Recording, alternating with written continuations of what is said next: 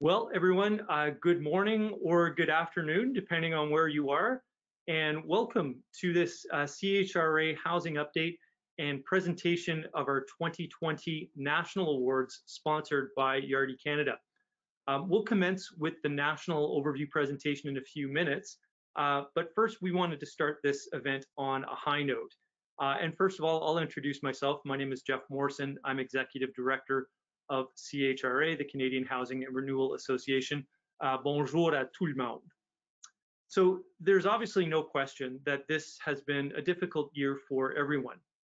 So that's why today we wanted to share with you some inspiration through the presentation of our 2020 National Award recipients. Now, of course, we would have been much happier presenting these awards in person at our national congress, which was scheduled for September, excuse me, for Saskatoon in April.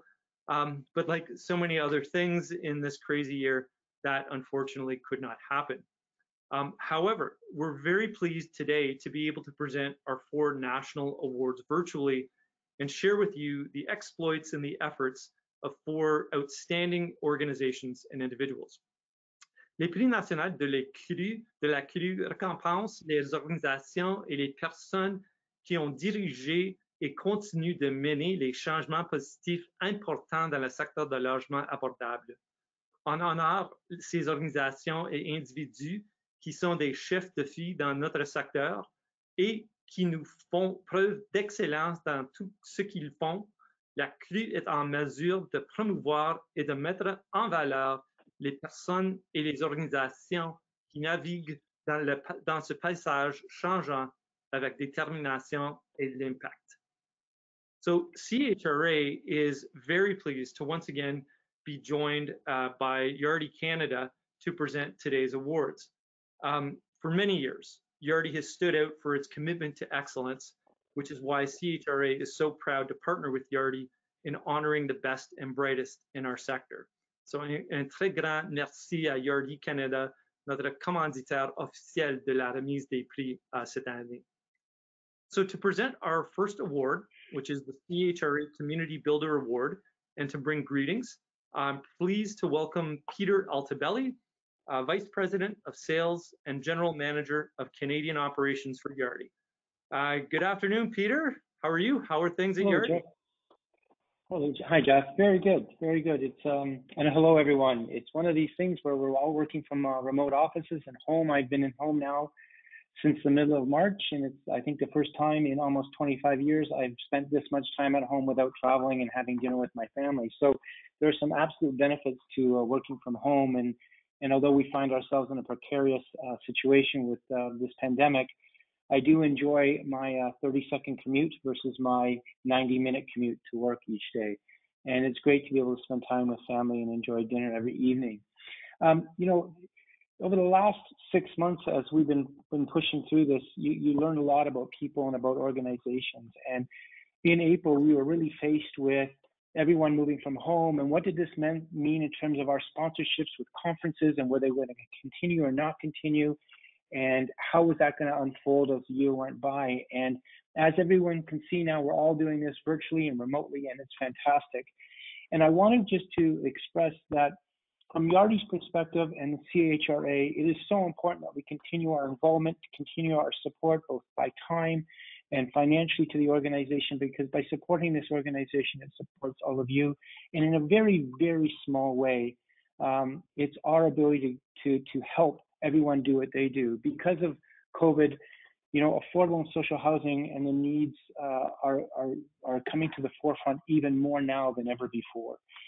And in a very small way, we want to be able to contribute and contribute back. And without CHRA, um, I don't think Canada would be in the same spot it is today. Uh, with all of your efforts and all of your members' efforts, Jeff, um, Jeff, this is a fantastic organization. You do so well and and and servicing all all of all Canadians. So thank you for everything you do. So I'm pleased to introduce our first award, the CHRA Community Builder Award. This award recognizes an individual, a business, or an organization that has had a major impact at the community level in promoting affordable housing and or preventing and ending homelessness. This year's recipient is an organization that has only was only founded in 2009, but has already had a major impact in addressing key issues in rural communities at a local at local levels. First, in its home province of Alberta, but increasingly throughout Canada. One of this one of the organization's hallmark programs is the Sustainable Housing Initiative, which develops long-term sustainable plans for rural communities to address their homeless housing and homeless needs. This work has been assigned, or sorry, this work has been assisted by the development of a step-by-step guide to developing affordable housing, a written guide that is being used by, by a growing number of rural communities throughout Canada. The organization built on its efforts by launching in 2017 its step-by-step guide to estimating rural homelessness, a landmark guide to addressing data gaps in rural homelessness.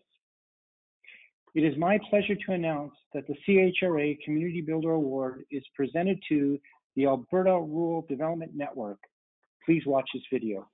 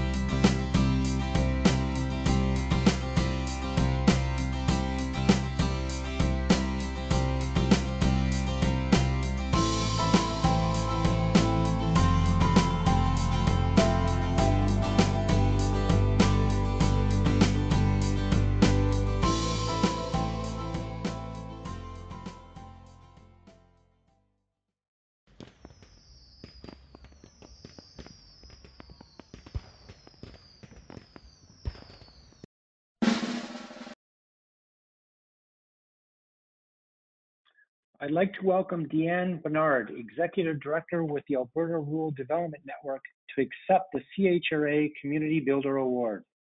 Diane, uh, Deanne.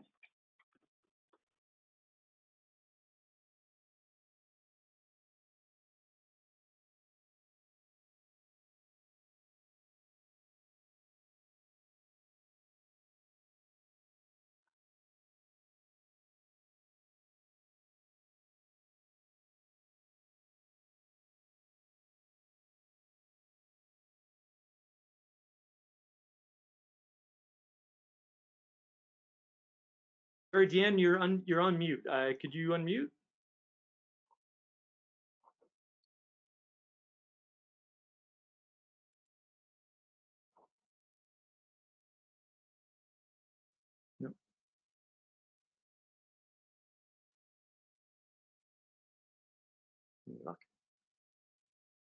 Okay, so unfortunately, it looks like we're just having an issue with the sound uh, with ARDN, but we will uh, hopefully, Deanne, we can come back to you and uh, we'll be able to hear your uh, your remarks. Um, let me know when that's. Um, but thank you, uh, thank you, Peter, and and congratulations Welcome. to the Rural Development Network and and uh, Deanne. We will we will come back to you shortly. Oh, Uh, I can you guys hear us now? we can hear you. Yes. Oh, Sorry for that. So thank you, Peter. On behalf of the board and staff of the Alberta Rural Development Network, we are honored to receive the CHRA Community Builder Award. To be recognized at the national level by a prestigious organization like CHRA is truly humbling. I am especially proud of ARDN staff members who saw the need to find ways to effectively and efficiently build affordable housing in small communities, and who saw the need to find ways to collect important data on rural homelessness. Building affordable housing from scratch can be a daunting process, especially for a small community. ARDN's free guide, published with support from CMHC and available in both official languages, breaks it down into manageable steps. The longer we worked with Canada's smaller communities, the more we heard a common concern. Rural individuals are struggling to access housing, yet there is no hard data to support this. Without data on homelessness in Canada's smaller communities, how can we know how to allocate resources? And how can we ever end homelessness? This spurred us to create ARDN's free guide, published with support from ESDC and available in English and French, to give small communities information on how to collect the data they need. To the CHRA Awards Committee, the Board of Directors, to Jeff Morrison and all the staff at CHRA, I extend our deepest gratitude that you selected ARDN to receive this award. Thank you very much. Félicitations à vous, uh, ARDN. Congratulations to ARDN uh, on your award. And thank you, Peter and Yardi, especially Peter, for your kind words.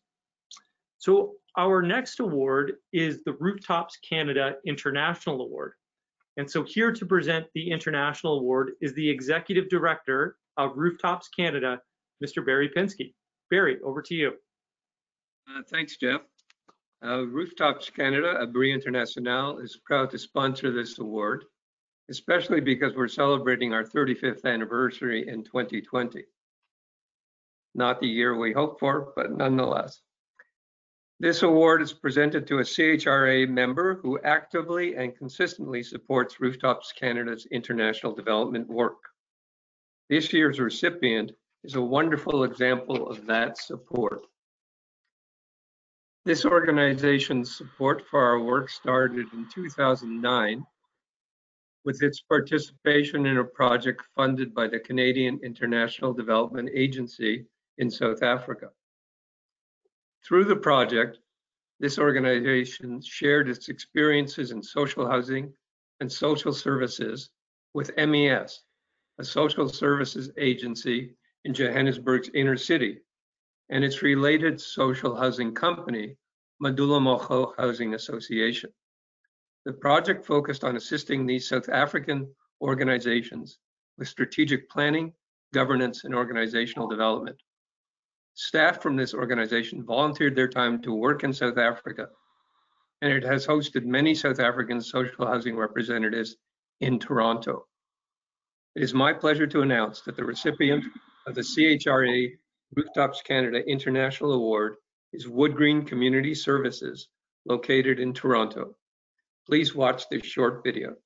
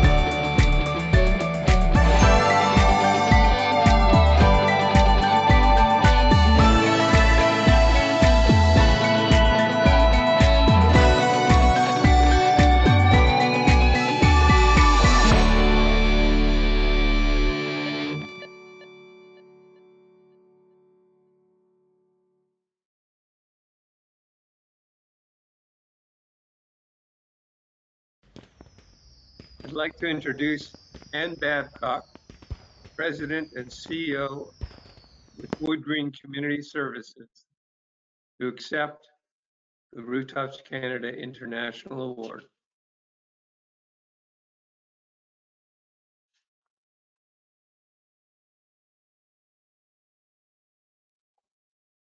Thank you. Can you hear me?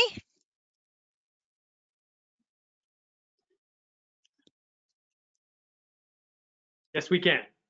Great, thank you. Thank you so much, Barry and CHRA, for this fantastic honor. Uh, WoodGreen was very fortunate to have had the tremendous opportunity to work so closely with Rooftops and the agency MES and Madulammoho Housing in Johannesburg. Our staff learned so much through these learning exchanges, and we were also fortunate to host many delegations from South Africa. These experiences have enriched our mutual work substantially, and I encourage everyone to support the great work of Rooftops International. And once again, on behalf of WoodGreen and all our staff and board, let me thank Barry Pinsky of Rooftops and CHRA for this honor today. Thank you so much. You can see the thing. Thank you. Thank you, Anne, and uh, congratulations to uh, to WoodGreen, and thank you, Barry, uh, for all the great work that uh, Rooftops does, and, and we'll be hearing back again from Barry in a few minutes. Um, so our next award is now the CHRA Leadership Award, which I'm very proud to present. Um, this award recognizes individuals who have significantly influenced or championed one or more of CHRA's pillars with systemic or national results. Um, and it goes without saying that this individual has devoted countless hours in Canada and internationally to promote housing for low income and vulnerable peoples, which makes her an exemplary recipient for this award. For 12 years, this person has served as the executive director of the Center for Equality Rights in Accommodation, a not-for-profit charity that defends human uh, housing rights and human rights. Most recently, more recently, she has served as the executive director of Canada Without Poverty, where she has established herself as a leading expert and advocate on economic and social human rights, in particular for women. Her work in promoting social justice, particularly in respect to the right to housing, was recognized globally when, in 2014, she was appointed by the United Nations Rights Council to the position of United United Nations Special Rapporteur on Adequate Housing.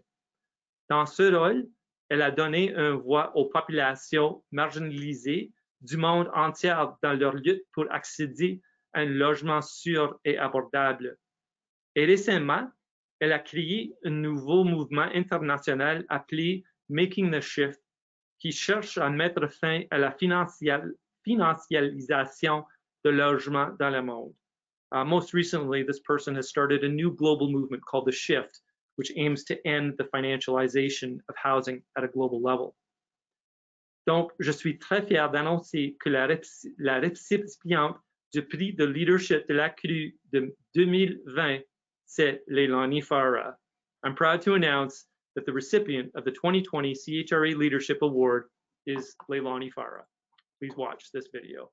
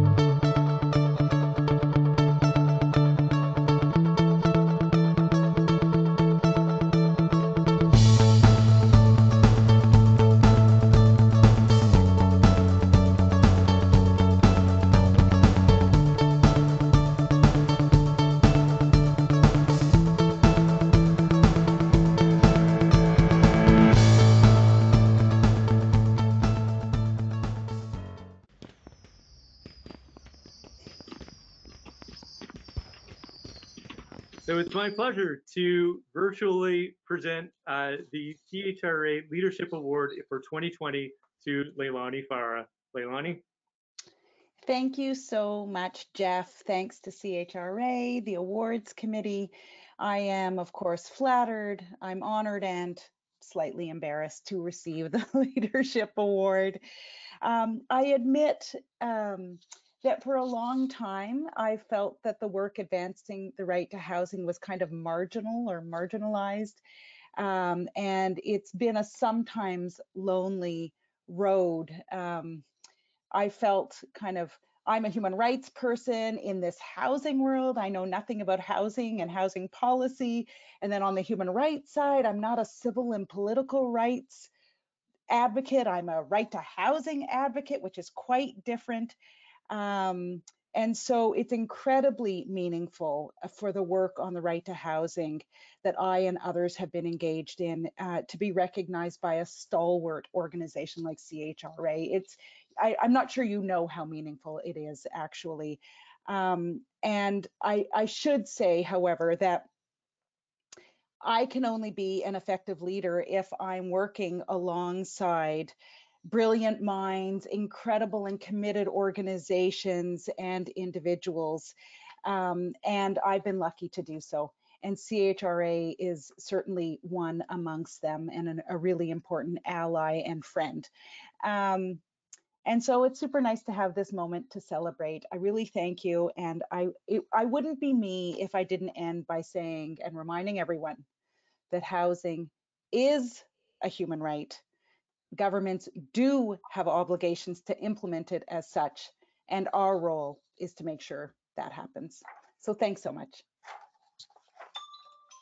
Thank you, Leilani. Merci, Leilani. And of course, uh, very well deserved. And uh, and it's it's just a small token of what we could do to uh, pay tribute to all your work as UN Special Rapporteur and in the work that you're continuing to do. So again, congratulations. Uh, so uh, I'd now like to introduce uh, CHRA's board president, Mr. Kevin Albers, CEO of M'akola Group of Societies in Victoria, BC, to present today's final award. Kevin, over to you. Great, thanks very much, Jeff. Uh, good afternoon, everybody. I want to start by uh, just saying a, a great uh, thank you and, and, congratulations to the award recipients, Alberta Rural Development Network and uh, WoodGreen uh, Anne Babcock and also Leilani, just the fantastic work that these three organizations and the people that represent them, you guys have done such incredible work to advance affordable housing in our country and, and beyond. So our final award is the CHRA Lifetime Achievement Award. This award celebrates an individual's lifetime achievement and outstanding contributions to the affordable housing sector in Canada and beyond. This year, the selection committee chose an individual who has made it its it his life's work to support people wishing to access safe and affordable housing. He is a leader with over 30 years in public service and public policy, all directly linked to affordable and social housing and homelessness. Throughout his long career, this individual has worked as an Ontario manager of housing operations with CMHC, worked for the Canadian Home Builders Association, and in 2000 he became the general manager of shelter support and housing administration with the City of Toronto. After joining the board of directors of, of CHRA, this individual took on the role of chair from 2012 to 2014. It was during this time that he championed the creation of the CHRA Indigenous Caucus in 2013 to serve as a distinct voice for Indigenous housing providers, a group that has grown significantly in stature and influence since that time, and this individual continues to serve the caucus as a working group member. And if, if all that weren't enough, he has spent the past five years serving as the volunteer chair of York Region's Community Advisory Board on Homelessness, bringing a diverse membership together to unite and focus on preventing and ending homelessness. It is for all these reasons and many more that we are proud to announce that the 2020 CHRA Lifetime Achievement Award is presented to Mr. Phil Brown. Please uh, check out this short video on Phil.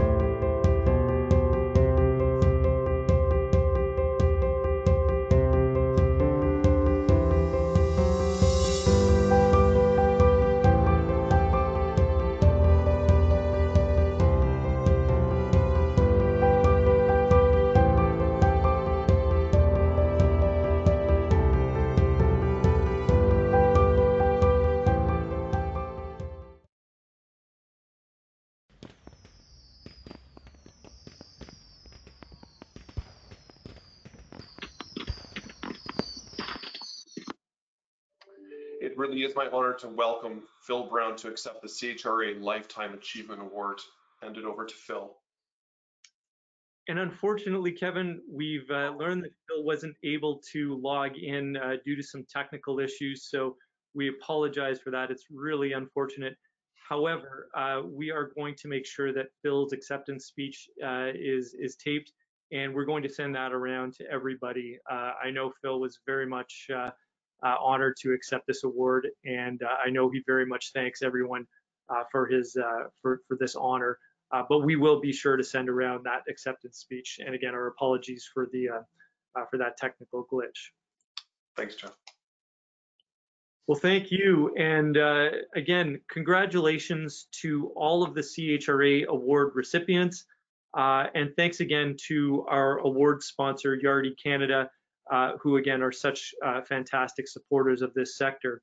Um, we will be featuring our award recipients in our next newsletter uh, on social media and in our 2020 annual report. So encore une fois, uh, merci et félicitations à tous uh, nos gagnants aujourd'hui. Now, before moving on, I want to once again invite Barry Pinsky, Executive Director of Rooftops Canada, to say a few words. Um, for those not familiar, uh, Rooftops, of course, is the international development program for Canadian social and cooperative housing organizations. Um, as Barry mentioned earlier, in 2020, Rooftops is celebrating its 35th anniversary. So Barry, uh, congratulations on this milestone anniversary, and of course for all the great work that Rooftops does around the world. Barry, over to you. Uh, thanks, Jeff. Uh, I have to say at the end of those presentations, I was really missing the opportunity to applaud all the wonderful winners.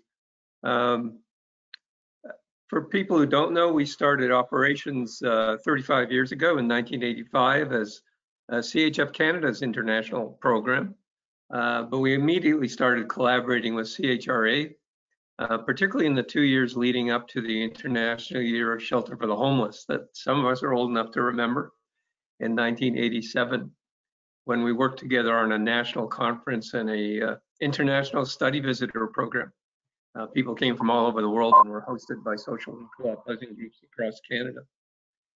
Somewhere in the early 1990s, I don't exactly know when, uh, we decided to formalize the relationship.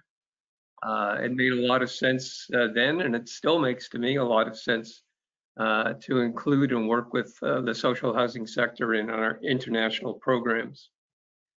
at the time, we agreed to reserve a place on the board for our board for CHRA, which over the years has been filled by some very committed and knowledgeable CHRA members. Just to name a few, uh, Martin Wexler, who was also a technical advisor for us in Lithuania, uh, Catherine Boucher, who uh, worked for us for a year in South Africa and headed up our fundraising team for a while, and most recently Pam Hine, who participated in uh, one of our study visits to Africa and served as our president for several years before moving to CMHC. Many other CHRA members have been directly involved in, our, in our work. Uh, just to name a few that were all award winners, uh, Bob Cohen, who played a very key role in establishing uh, social housing in South Africa, Toronto Community Housing and BC Housing, and of course, WoodGreen Community Services. I'm sure also Phil Brown at one point very generously uh, offered some of his time to help host South Africans at the City of Toronto. Um, CHRA itself has provided support in many different ways. Um, numerous articles and posts uh, about our work in international development have appeared in paper and online publications over the years, uh, helping to share experiences with our experiences with CHRA members. Uh, often we had a presence at CHRA congresses uh, and in workshops. And very importantly, uh, CHRA has made annual financial contributions to our work, which are especially important when, as in most cases, we have to match Government of Canada funding. Um, another critical role has been helping us with government relations and helping us reach out to ministers and their staff at critical moments in time. Uh, at one point, CHRA helped us save a five-year program uh, that looked like it was going to just drift away uh, until we got some political support behind it. And uh, Jeff has just helped us do that all over again. So thanks very much for that. As we celebrate our 35th anniversary, it's a great pleasure to present a partnership certificate to CHRA, recognizing its commitment and support for building homes and sustainable communities in the global south. There it is. Uh, this support has helped tens of thousands of low and moderate income households to secure land and housing, improve gender equality, and achieve the fundamental right to live in peace and dignity. Thanks to all CHRA members for your past support.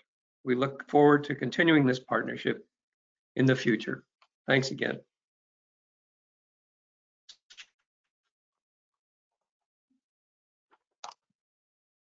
There we go. we can't hear you. There we go. Uh, first of all, Barry, thank you so much for the beautiful certificate. Um, it'll it'll hang proudly on our walls. But uh, also, it was interesting listening to you name some of the people that have been uh, involved in rooftops over the years, and clearly, those are some of the champions uh, for the social housing sector uh, over the past number of decades. Uh, so the fact that rooftops has been so fortunate to have so many leading people associated with it for years and years is really a testament to the work that you do. Uh, and of course, the housing that you provide in countries around the world, most recently South Africa, is uh, is really again a testament, a long-term testament to your efforts. So uh, thank you for the work you do, uh, and again, congratulations on your on your 30 35th year anniversary in 2020. Um, wish we could have celebrated in person, but uh, at some point soon, hopefully. I'm sure we will. Thanks again.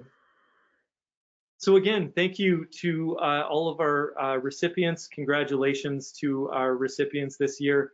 Uh, and again, we will be uh, showcasing these recipients in our upcoming communications over the next couple days and weeks.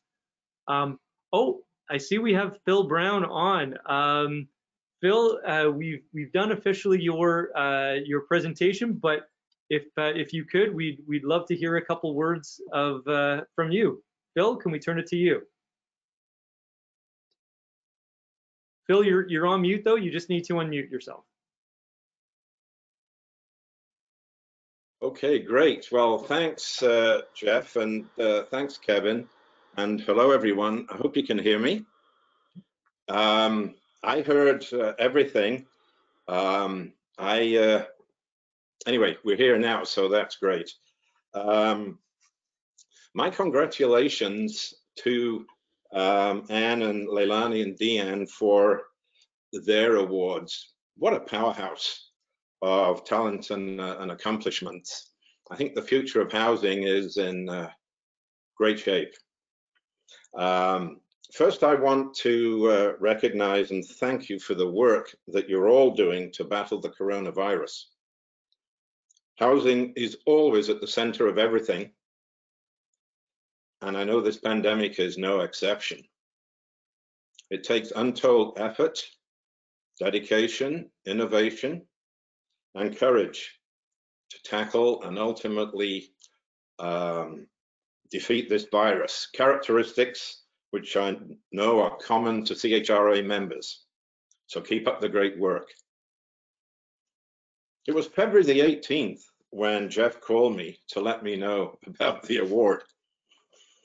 He also informed me that the award was, for the first time ever, to be kept a secret until the conference in Saskatoon in April. Well, here we are, 203 days and a lifetime later. I've had the opportunity to celebrate the award in private for longer than we thought. So it is great to be able to celebrate this award with you today. Thanks to you, Jeff, and to your staff for the extra work it took to put on this first ever CHRA virtual awards ceremony. Thank you to the CHRA Board of Directors for awarding me this honor and to the individuals who took the time to nominate me. I am honored, humbled, and thrilled all at the same time. And here it is, a beautiful piece of glassware. Thanks, Jeff. I've had the privilege to work with some amazing teams over the last many years.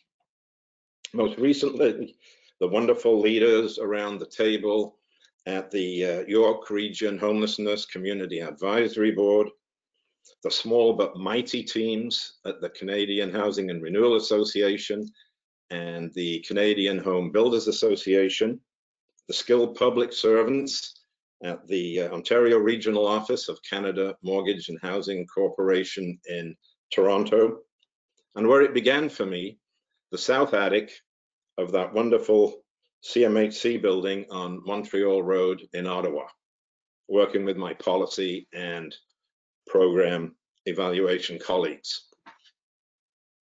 A final mention to the dedicated and smart professionals at the City of Toronto, particularly those in the Shelter Support and Housing Administration Division and the Affordable Housing Office, uh, with whom I spent 12 busy and rewarding years, with never a dull moment. I've had the opportunity to learn from all of you and to laugh with you all, often under trying and demanding circumstances. We were able to accomplish much together. It has been a pleasure and an experience I will never forget. To Robert Byers and the members of the CHRA Indigenous Housing Caucus, and to Indigenous colleagues I have met over the last 30 years, thank you for including me in your conversations. You have made me a better person. And let's not forget that the National Housing Strategy is failing the 87% of Indigenous households who do not live on reserve lands. An urban, rural, and northern Indigenous housing, housing strategy with new sustainable funding and a service focus is required to address their housing needs. And to support reconciliation efforts, these new investments should be delivered by Indigenous housing providers who currently provide housing services off reserve for Indigenous by Indigenous. I'm looking forward to seeing this major service gap addressed in the upcoming throne speech and the subsequent federal budget. This is a wise investment and long overdue. I want to thank my family who have been by my side throughout. To my two Markham boys, Adrian and Stephen, it has been a blast growing up with you. And to my wife, Gregoria, your love and support has never wavered. Muchas gracias, mi vida para todos. A quick shout out to Al Stewart, John Mayall, and David Letterman, who kept me company and for the most part sane through the years. And to my parents, Bill and Ella Brown, who survived World War II and post-war rationing and still succeeded in life, what can you say but thanks? In closing, to you all, you are the reason I stayed true to the cause. You're smart, dedicated, and passionate about what you do.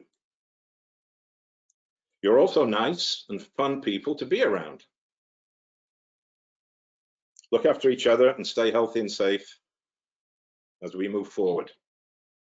There is no obstacle we can't overcome. And to my grandchildren, Isabella, Valentina, and William, this trophy is for you. We'll figure out how to play with it. Thanks. Well, thank you, Phil. And uh, we're so thrilled that we were able to get you on video and uh, and hear from you. So thank you. And again, Phil, congratulations on this award. Uh, truly a deserving honor. And uh, we too are, are very happy that we're finally able to announce these winners. It has been a long time, uh, but uh, but good things come to those who wait. So again, Phil, thank you. Congratulations to you and congratulations to all of our recipients. Thanks, Um, Kevin, and thanks, Jeff.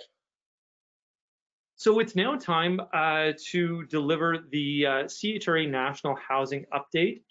Um, the purpose of this report is really to provide our members and supporters with an opportunity to learn uh, and be updated on various national housing policy uh, policies and programs impacting upon community housing.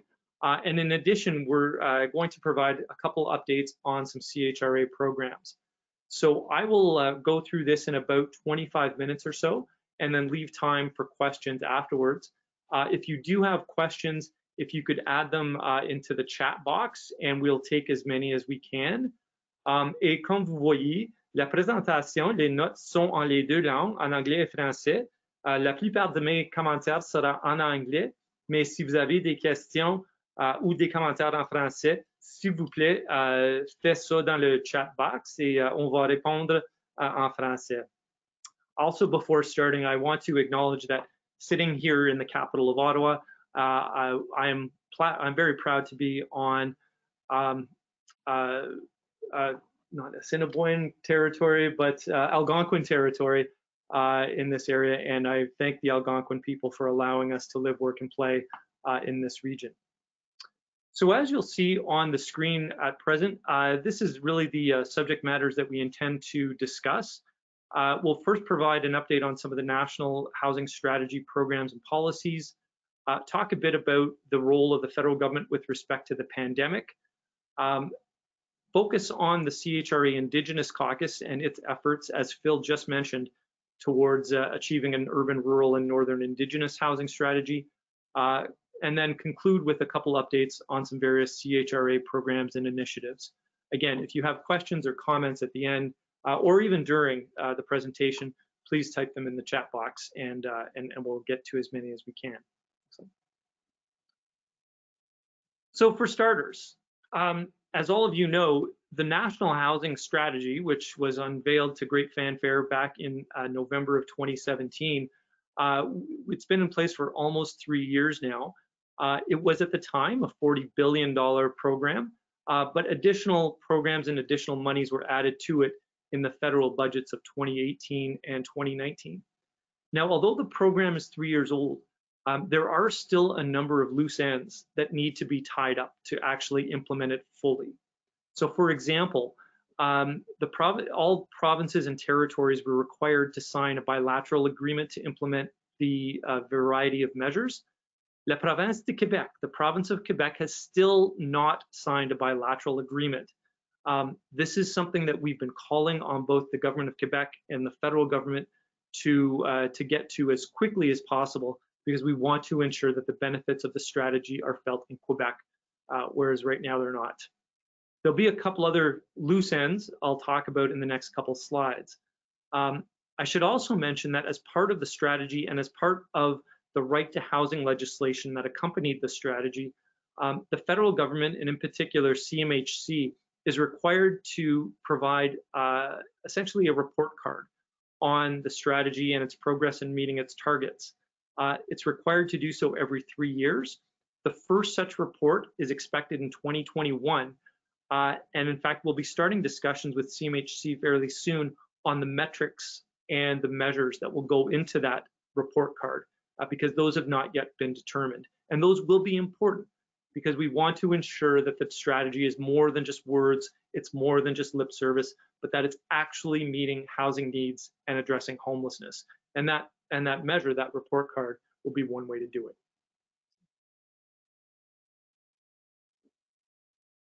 So speaking of, oh, back one. Speaking of, back one. The, uh, as you all know, one of the key, no, no. Next one. No, right there, right there, right there. Sorry, we're having some issues here. Um, sorry, Tom, it's still there. It's on there. Okay, sorry. Hopefully you can all see the National Housing Strategy Act slide. There we go. Um, so this was the so-called right to housing legislation that was committed to as part of the strategy. Um, it was passed by Parliament in June of 2019, uh, called the National Housing Strategy Act. Uh, it was part of the budget implementation bill uh, from June of 2019. Uh, now, that legislation did a number of things, amongst which it introduced or it created a couple new accountability measures. Um, one being the National Housing Council, which was to be a group of people from throughout Canada that would advise the minister on means for the federal government to achieve a right to housing framework. Um, unfortunately, that council has still not been announced. Uh, we know there was a public call for applications. There was even interviews that happened earlier this year. We have still not seen an announcement on the makeup of that of that council. Uh, we've been asking the minister's office repeatedly when we can expect that, and we still haven't heard anything.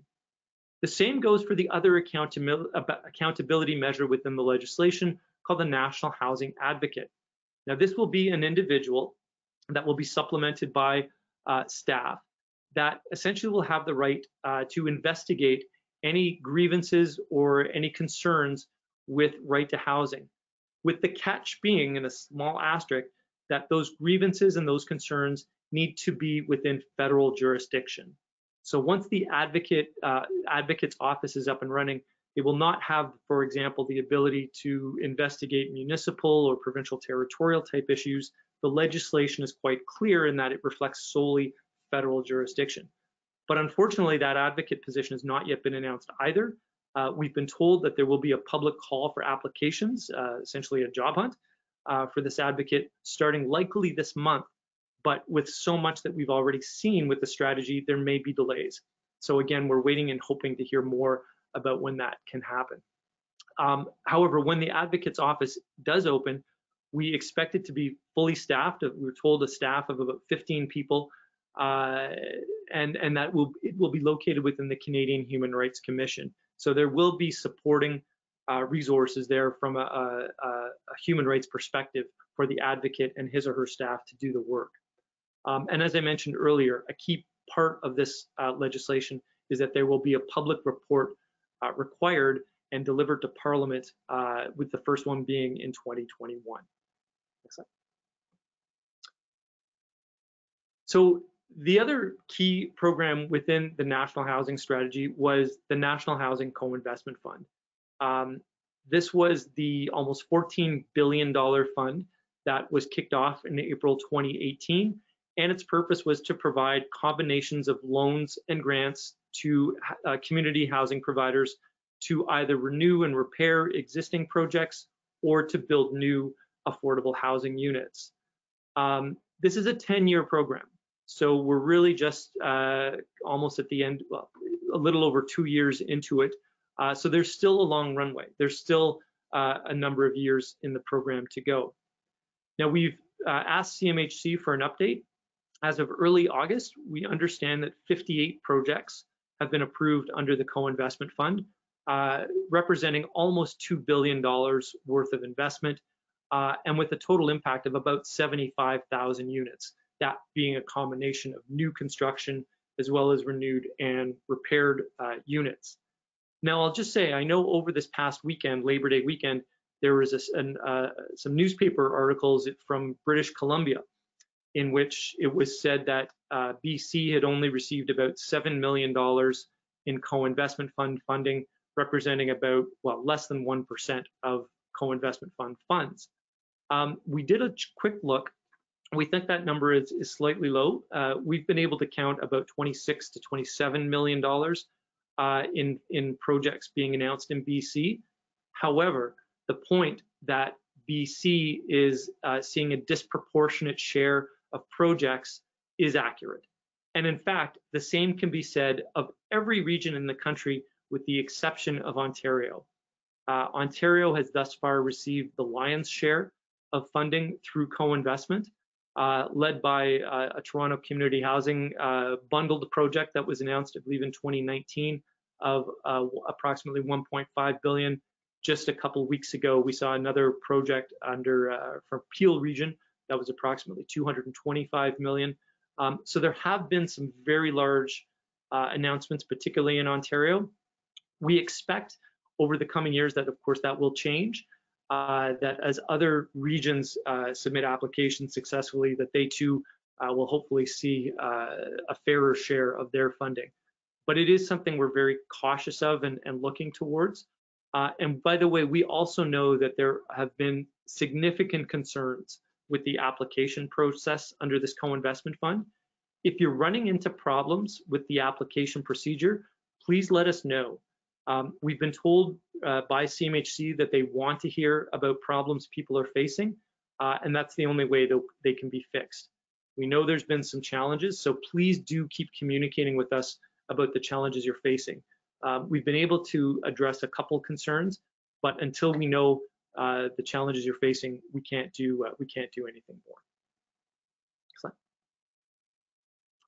So the other uh, program that came out of the uh, National Housing Strategy was both the federal and community, excuse me, the Canada Community Housing Initiative. Um, these are programs that will essentially extend your rental subsidies for those providers whose operating agreements expire between 2016 and 2028. Um, under the Canada Community Housing Initiative, uh, that program is for those of you holding provincial operating agreements. The Federal Community Housing Initiative is for those of you holding federal operating agreements. Um, the next phase, the second phase of this program, phase two, uh, just kicked off last week on September 1st. It was delayed due to the pandemic, but it is now in place. Um, for those housing providers whose operating agreements do, ex do expire within that time frame, 2016 to 2028, uh, CMHC will reach out to you individually about, we're told, six months, give or take, uh, before the end of your agreement, uh, before the expiry date. Um, you will then have the option whether to uh, opt into the program or not.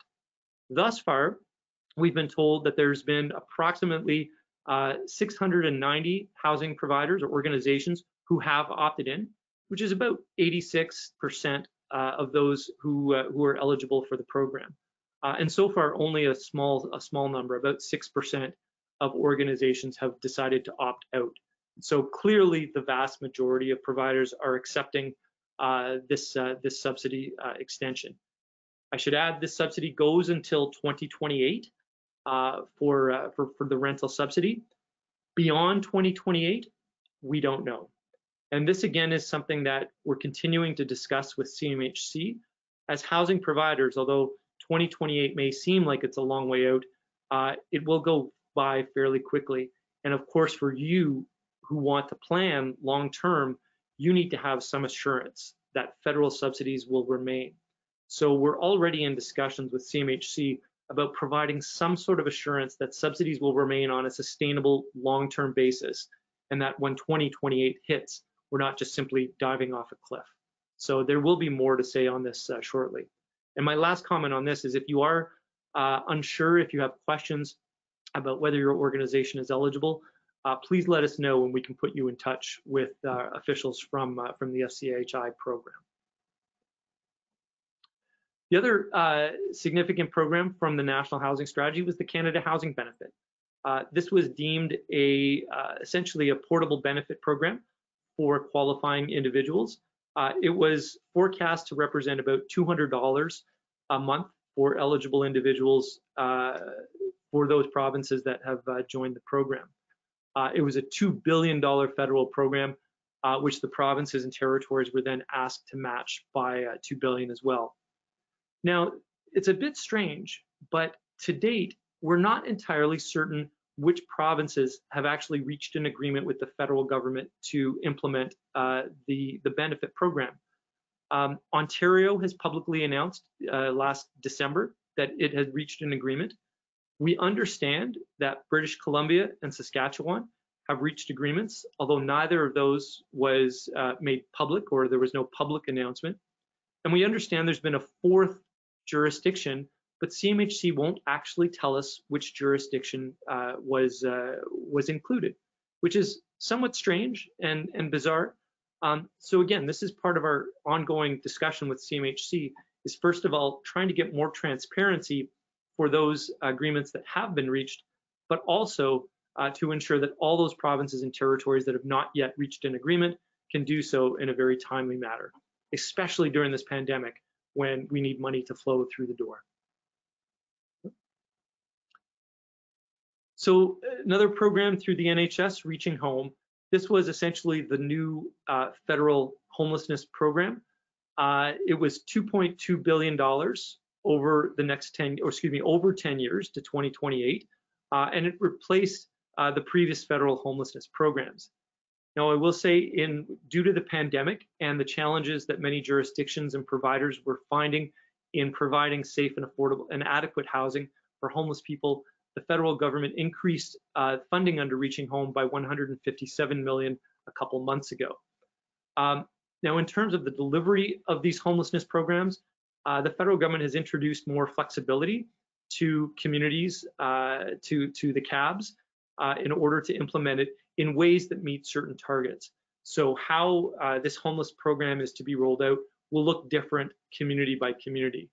Uh, so we're, again, uh, working with groups like the Canadian Alliance to End Homelessness to monitor this program and if need be, to ask for additional investment in it, especially depending on how long this pandemic goes, because we know that uh, providers are facing significant demands.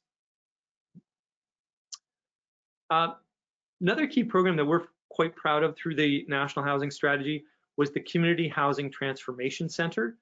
Um, this was a program that CHRA, or excuse me, a, a, concept that CHRA had called for for many years. It was included in the NHS, uh, and it was officially announced in April of 2019 with funding uh, provided by, by the federal government. Uh, and in fact, it moved fairly quickly to move from idea and concept to operation.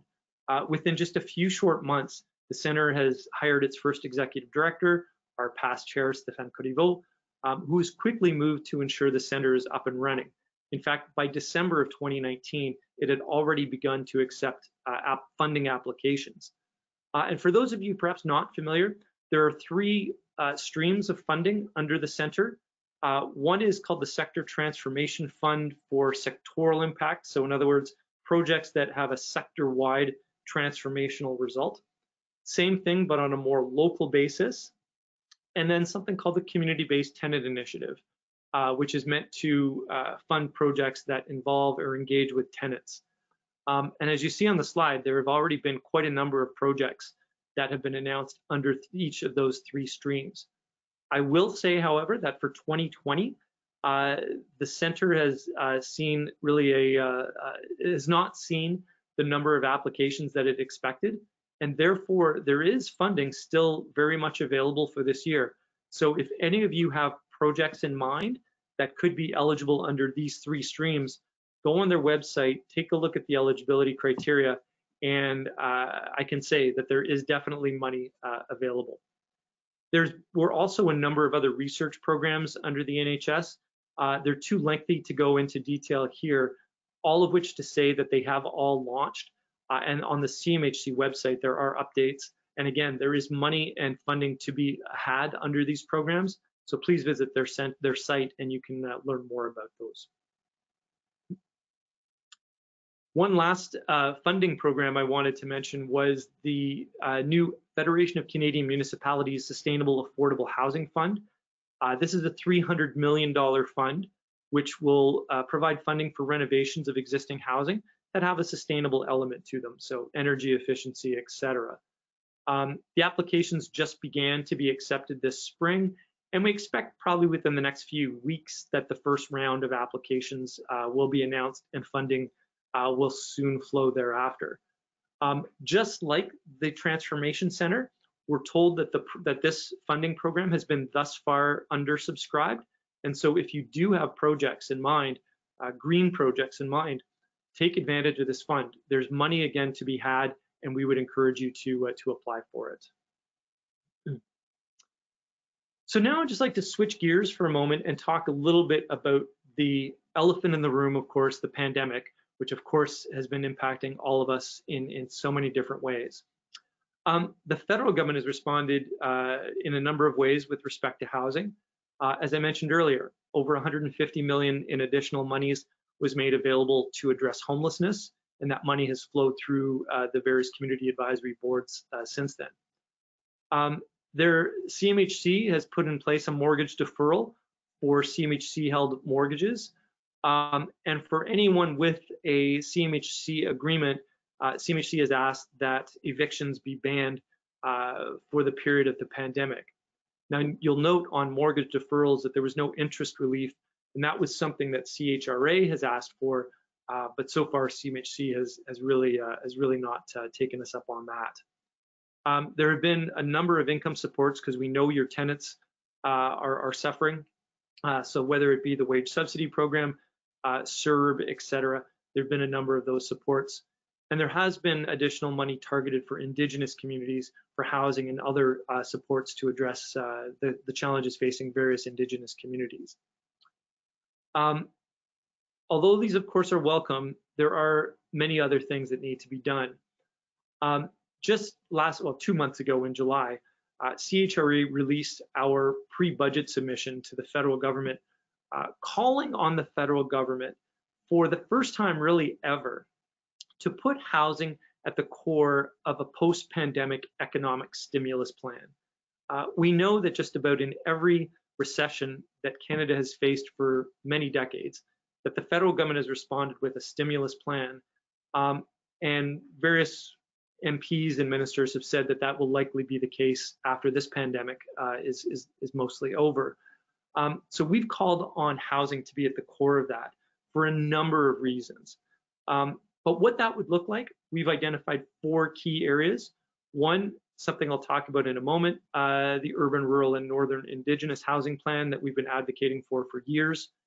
Um, revamping the federal lands initiative. I haven't talked about the lands piece from the, the National Housing Strategy. It was a $200 million announcement uh, whereby surplus federal lands would be transferred to affordable housing providers. Unfortunately, that program really is not taken off yet. So we've suggested it be ramped up so that the federal government could not just transfer its own land, but could acquire surplus provincial or municipal land and transfer that as well. Um, we'd like to see new funding for new construction uh, to address the supply challenges. And something relatively new uh, in terms of our asks is the concept of a property acquisitions program. And, and we know this is something that, uh, in particular in British Columbia, the province has been very uh, proactive in implementing. Here in the city of Ottawa, there's been a campaign called the Hotels for Home to Homes campaign. Um, it's a concept that's been gaining traction um, and it is something we know CMHC is looking closely at, and we hope that in the forthcoming speech from the throne uh, in a week or in two weeks, that there will be some hint that the federal government will move in this direction. But we know they are very seriously looking at it. So I've mentioned the Indigenous housing strategy that CHRA has been working on for, for many years in, in uh, very close uh, contact with our CHRA Indigenous Caucus and in particular its working group. Um, this remains the missing piece from the NHS. In no way was the National Housing Strategy announced in 2017 a fait accompli. It was not a done deal. Um, the missing piece has been this urban indigenous uh, program that we've been calling for. Uh, and you'll recall in 2018, our Indigenous Caucus released its for Indigenous by Indigenous uh, vision for what that uh, strategy would look like. And this remains our top priority. Uh, in fact, when Minister Hussen, Ahmed Hussen, um, was named the minister, the new minister for housing about a year ago, within his mandate letter, that letter that the prime minister gave to him, essentially outlining his job uh, for the coming for the coming term, it was clearly indicated that it was uh, that he was being asked to develop an urban, rural, and northern indigenous strategy. So all we're saying to the federal government is, do minister what the prime minister has has has asked you to do. Uh, and so we're very closely working with, with him, Minister Hussen, uh, with a parliamentary committee that prior to the pandemic had agreed to hold hearings into an urban, rural, and northern indigenous strategy, uh, and frankly with other stakeholders. Uh, there's been a long list of stakeholders who have joined us in calling for an urban, rural, northern uh, indigenous strategy. Um, so over the coming fall and, and heading into uh, early 2021, you're going to see a more much more proactive, a much more uh, visible advocacy campaign aimed at getting the federal government to do what it committed to do with respect to this urban rural northern indigenous strategy. So we hope that you'll all support us uh, as, as we move forward with that. Uh, and in fact, the Indigenous Caucus just released uh, two weeks ago, I believe, its first ever annual report. Uh, we hope that uh, you'll take a chance to uh, to review this report. It it goes through the activities of the caucus over the past year. It's now up on our website, and so we'd all encourage you to download a copy and, and take a look at what the caucus has been has been up to on a on a more detailed level. So now I just want to uh, conclude this presentation with a couple um, uh, updates on various initiatives that we've been undertaking here at CHRA. So the first I want to uh, report on is a new initiative we launched earlier this year called the Tenant Leadership Group. Uh, we've been able to do this with funding from the Community Housing Transformation Center that I, I mentioned earlier. Um, and the idea of this group is to really strengthen tenant leadership capacity in Canada uh, we know that tenants need to be at the tables. They need to have their voice heard uh, on various policies and programs that, that impact them. And so this program was intended to provide training and, and resources to uh, a group of tenants from across the country in order to strengthen that leadership capacity. So we uh, recently selected our group of about 25 tenant representatives uh, they have already now begun to meet and have begun training in such things as leadership, uh, policy development, public speaking, and of course, tenant rights, legal considerations. Uh, and, and of course, what we're finding as often happens is that they're learning from each other uh, just as much as learning from, from the materials provided. Uh, so we very much look forward to seeing this first group graduate, if you will, in the spring of next year if we are having a face-to-face Congress, and I'll talk about that in a moment, uh, then they will all be there uh, at that Congress. So if you are planning to attend, if we're able to go live, then uh, hopefully you'll have the chance to meet a couple of these representatives from this tenant leadership group. We're really excited about this program. Speaking of, uh, as was mentioned earlier, and the whole reason for doing a virtual awards presentation is that, of course, our Congress 2020 in Saskatoon uh, had to be canceled due to the pandemic. Um, as you can imagine, and, and I know anyone who's in a who's trying to plan anything for 2021 is in this conundrum of whether in fact live events can happen in 2021 or not. In terms of our planning for Congress 2021, we are still uh, proceeding under the assumption that there will be a live event and that 2021 Congress is scheduled for St. John's, Newfoundland and Labrador at the end of April. However, we know that this pandemic uh, may still be with us and that there may still be restrictions on large gatherings and travel. And so while we're planning for a live event, we're also planning for a virtual contingency. Um, we're going to make the decision on which way to go by the end of the year, by uh, probably just before Christmas. Um, so then that way we can launch registration in early in the new year with whichever of the two ways we go. Um, I really wish I could tell you at this point, but I don't think anyone really has uh, the crystal ball good enough or clear enough to know exactly where the pandemic will be. Um, we said that the call for proposals was issued in the coming days. In fact, it's already been issued, and we're already starting to get in uh, proposals for various workshops. If you have some great ideas, please submit them. We'd love to hear it. And just for those of you wondering where we'll be at the next in the next coming years, uh, 22 Quebec City, 23 Winnipeg, 24 Fredericton, and because we did have to cancel with Saskatoon uh, in 2020, um, we're happy to say we're going back there in 2025, and we look forward to it. Um, by the way, even though we did have to cancel uh, our Congress 2020, we were so incredibly um, humbled by the fact that the vast majority of the sponsors for our 2020 uh, Congress decided to retain their support for us. And so you'll see on this slide the various sponsors who have uh, have retained their support even in uh, even in these difficult circumstances. Um, so for all of these organizations listed, I, I, just want to say an incredible thank you. Um, your support will enable us at CHRA to continue our work this year, to continue speaking as loudly as we do uh, on the community housing sector's behalf. So again, uh, a huge thank you to all of these uh, all of these strong supporters of our Congress, of our Indigenous Caucus, and of CHRA in, in general. we're also really proud to say that the Housing Professionals Mentorship Program, which was a three-year program, has been extended. Uh, we have received additional funding to allow it to run at least two more years, but hopefully uh, longer than that. Um, since the Housing Professionals Mentorship Program, or HPMP, was started three years ago, you know, we've had about 180 people that have either been mentees or mentors um, who have come together to learn from each other.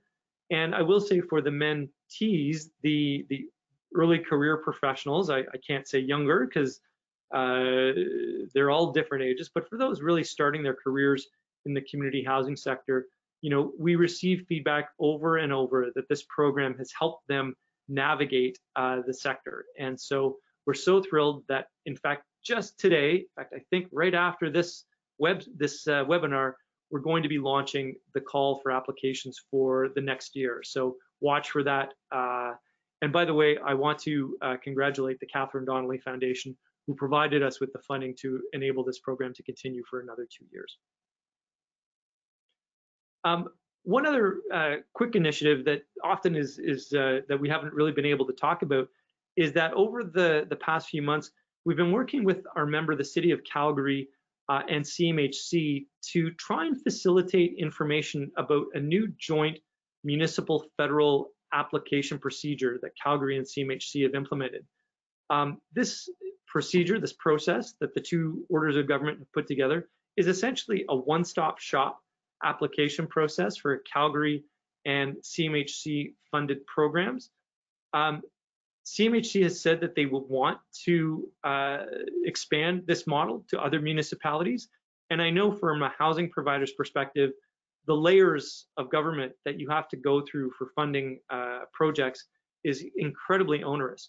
So we as well at CHRA have an interest in facilitating and replicating this kind of model to other municipalities. So in a couple weeks, we're going to be hosting a webinar for our municipal members uh, that where Calgary and CMHC will describe how they've been able to do this. We hope this kind of model gets replicated elsewhere because we want to make it much, much easier for you as housing providers to uh, apply to various uh, government's levels of programs. Um, I think the last item just to mention is uh, we're, we're also pleased this year that uh, our Housing on the Hill Day is still going ahead on September 29th. Obviously, this year will be a virtual format, uh, so again, breaking new ground.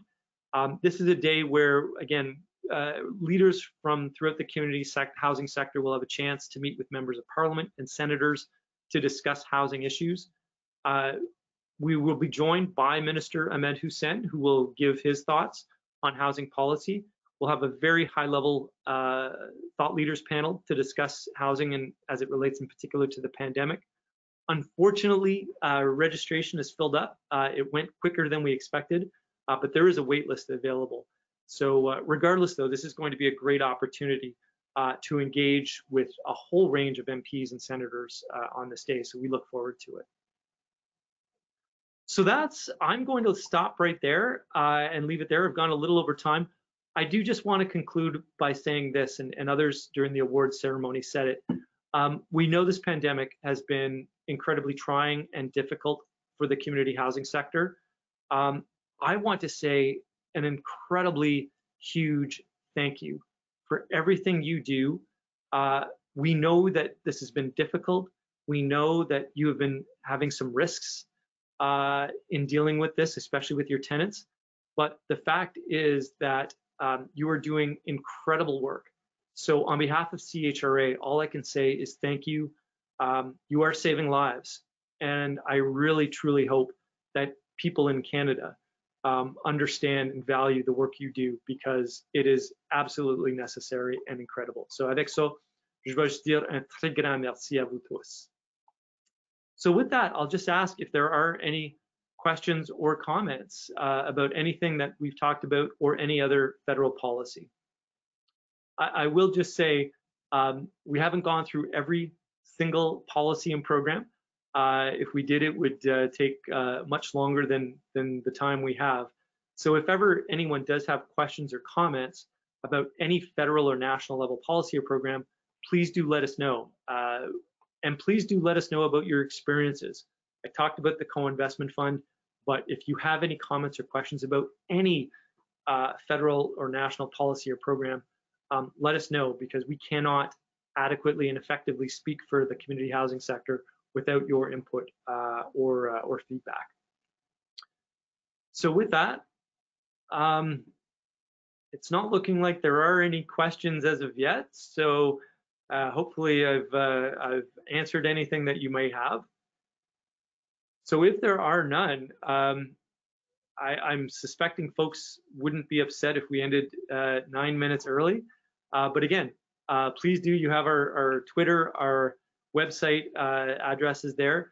Um, please get in touch with myself, any of our fantastic team, um, if you have questions. And I just do want to end on that note. Um, CHRA, we're so blessed to have such a stellar uh, staff team here. So I want to thank my, my, my staff colleagues for all the work you've been doing to help ensure that uh, the community housing sector's voice is remains strong and, and that uh, we're able to deliver service. So I don't think there are any questions. So with that, I again, congratulations. Uh, I want to say congratulations to our award winners. Merci à vous tous pour tout le beau travail. Thank you for all the work you do. We look forward to continuing to work with you and represent you. And with that, I want to wish you all a happy afternoon, happy September, uh, un très grand merci et un bon après-midi à vous tous. Merci. Thank you very much.